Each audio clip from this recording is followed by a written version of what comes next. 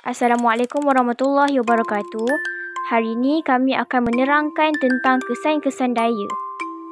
Daya menyebabkan objek bergerak, menghentikan objek yang bergerak, mengubah arah pergerakan dan mengubah bentuk objek. Daya ni kita tak boleh nampak tapi kita boleh rasa. Contoh daya yang boleh diambil berdasarkan kehidupan seharian kita antaranya menggerakkan kereta sorong bayi, memancing dan bermain layang-layang. Sekian, terima kasih.